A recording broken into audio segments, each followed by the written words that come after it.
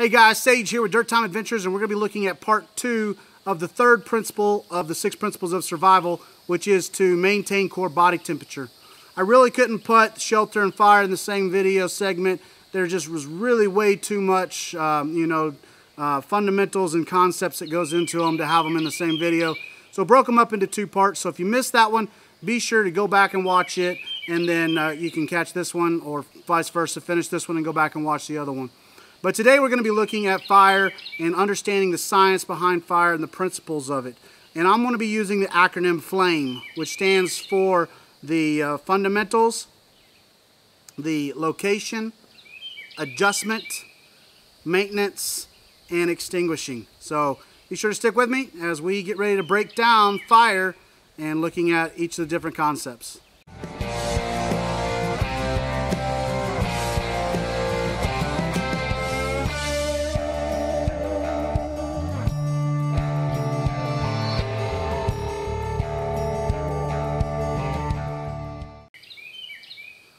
So the F is, once again, stands for the fundamentals or foundation of fire, understanding the building blocks of what fire is. And when you can begin to understand that fire is not necessarily a thing or an object, but that it's, a, it's an event, it's something that takes place whenever these certain elements are combined, um, what we call the fire triangle, which is made up of fuel, oxygen, and heat.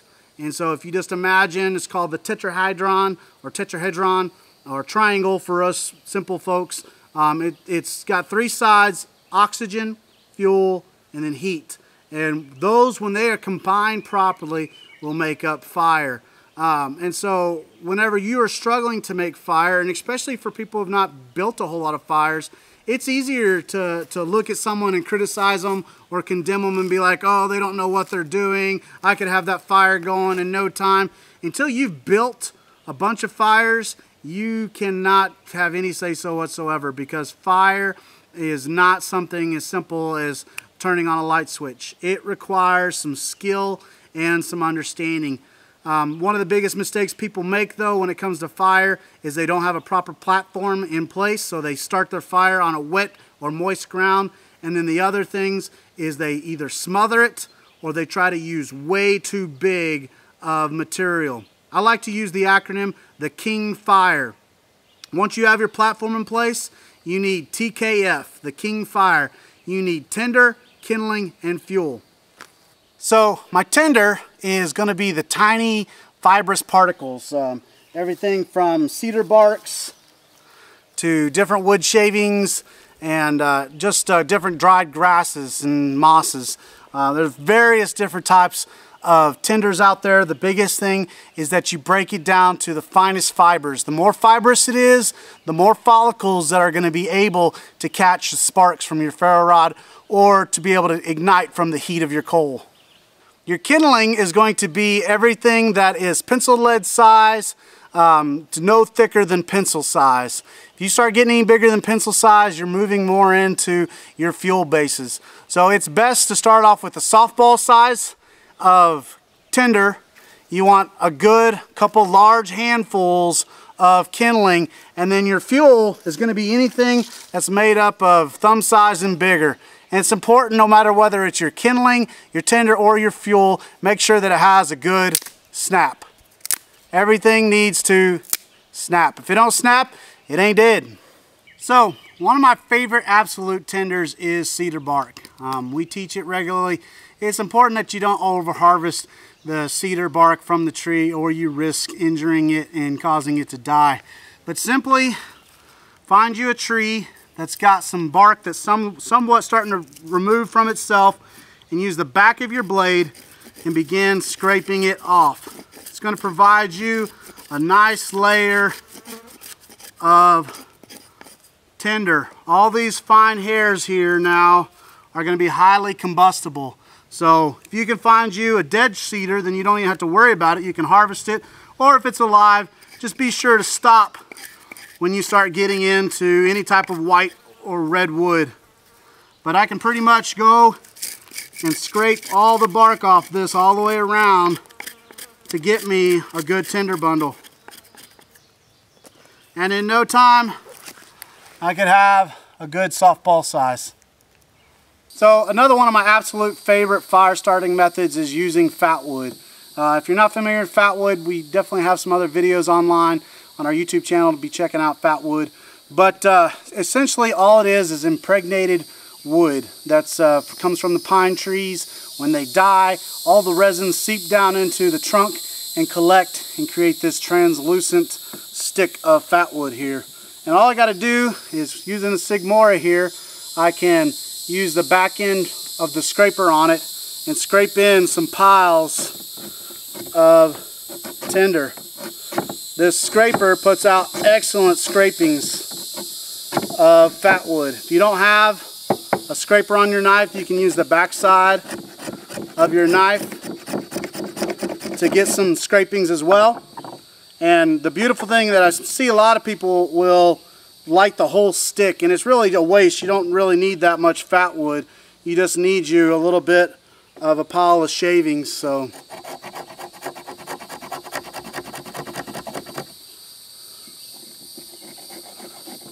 Another thing you can do with the fat wood, if you are wanting to use the whole stick, which I don't recommend, is to make some feather sticks.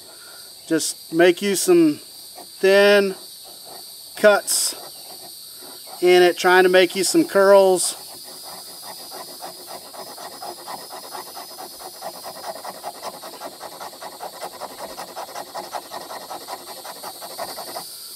Get you, get you a better light of that.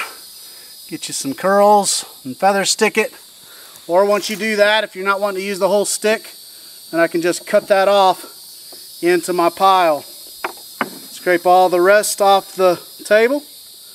And once again, you're going to be starting your fire on a platform. I cannot emphasize a platform enough. It needs to be dry. And once again, just like in shelters, the heat loss transference mechanism of conduction will suck the heat from your fire. And if you want to learn more about the conduction, be sure and go back and watch the shelter video. But from here, I can use something as simple as a ferro rod. And that's what I want to talk about now. I am a huge fan of bow drill, but as far as energy expenditure goes, I cannot go wrong with a ferro rod. Uh, and a lot of times when I'm out in the bush, if I'm not trying to practice my skills, nine times out of 10, I'm going to use this, good old Bic. Bic will light pretty much anything. If you got a flame and you got something that'll take a flame, this is another beauty of fatwood. it will burn and burn and burn like a candle um, due to those resins. Um, but a ferro rod is usually more likely to last you a lot longer than a Bic lighter will. But don't get me wrong, this sucker has lasted me a long time. Um, so if you have to, use a lighter or ferro rod. But uh, when you go out into the wild or out into the bush, even if it's to practice your skills, do not, listen to me, do not go out there without some form of combustion device. I don't care how skilled you are at bow drill, um, the reality is, is the paradox of fire. That's the reality. The paradox of fire is what I call it. And the paradox of fire says that the more you need fire, the harder it is to obtain. And so no matter how, you know, tough you think you are, do not go out there without adequate tinder material and fire starters. So once you get your tinder bundle, whether it be fat wood or uh, cedar shavings, the biggest thing, once again, breaking it down into fine particles.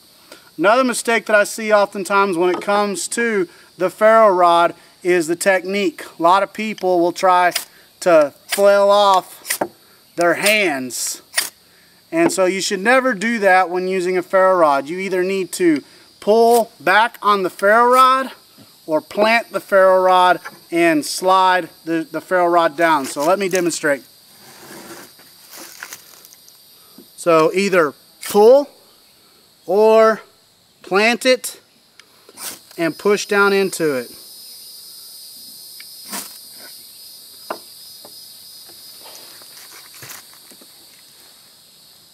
Guys, I'm telling you, it is all in what I call technique. You probably can't see me from the black smoke from the resin. But I see guys on there who scrape their ferro rods 50 million times and end up with a toothpick when if they just would have had proper technique, they could save their ferro rod and then build an effective fire. And guys, I can't emphasize it enough. Fire is vital. It will treat your wounds, so it's good for medical uses. It, you can carterize, you can sterilize with it. It can treat your water, so it's effective for water procurement.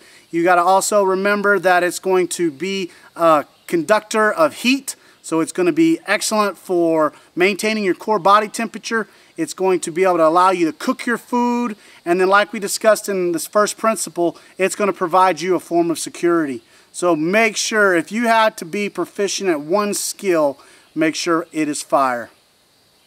So I'm taking my tinder bundle, breaking it down to the finest fibers I can get. I have my platform in here that's going to be dry so I can transfer it so no moisture is going to suck out the heat. And then I have my fire lay built up, which I use a TP, or what I like to call a beautiful mess. it uh, usually doesn't look like a TP by the time I get it built, but it's an aerated structure. That's what you got to understand is aerated, which there's tons of pockets for oxygen and then I create a little pocket here in the middle for the, uh, the tinder bundle to go into. So we'll light it up, stick it in there, and have, we'll have fire. This time, instead of planting and pushing, I'm going to pull back on my ferro rod to light it. So you can plant and push or pull back on your ferro rod. See if we can get it in one shot. Biggest thing is make sure that it is fluffed up. One shot. Let's see if we can nail it.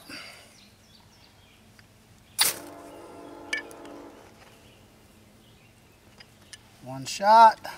That's all I got. This material is still pretty damp, so I'm kind of nervous about it. Let it breathe if you're having a hard time getting it to breathe.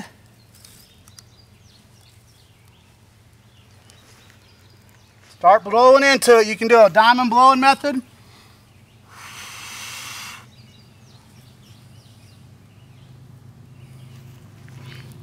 Gonna let that burn just for a second. See if we can aerate it out a little bit. As long as it's still smoking. As long as it's still smoking, you still have hope. Right now I got a little bit of a damp tinder in that tinder bundle. I told you to make sure you use a uh, a uh, Make sure you use a softball size because if you need to add some more, you can.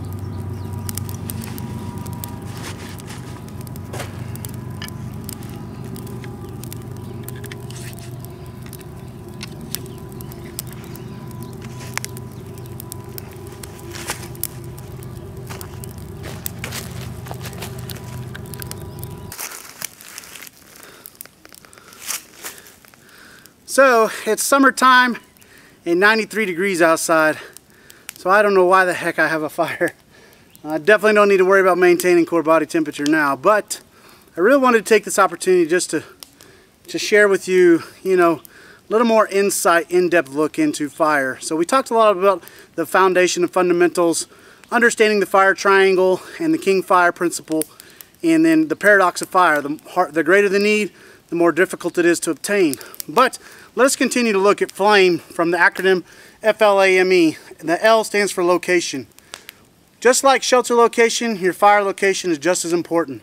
Make sure you clear out a proper fire ring of at least 5 foot or on each side, so a 10 foot circumference.